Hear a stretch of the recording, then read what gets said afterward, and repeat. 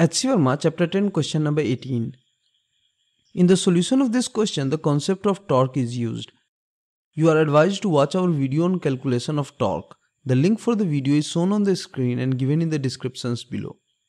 A simple pendulum of length L is pulled aside to make an angle theta with the vertical. Find the magnitude of the torque of the weight W of the bob about the point of suspension. When is the torque 0? Let us first draw the line of action of force for weight.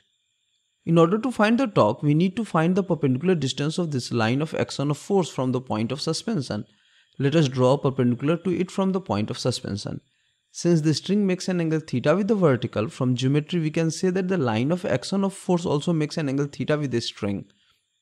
From simple trigonometry, we know that the length of this perpendicular is L sine theta.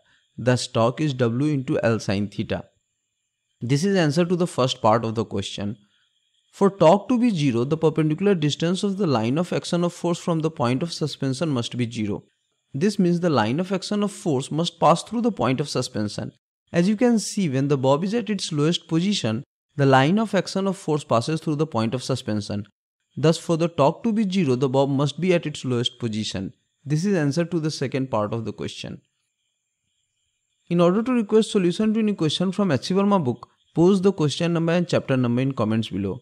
Like and share the video to help other friends find us. Subscribe the channel, like our Facebook page and follow us on Twitter for latest updates. Thank you for watching.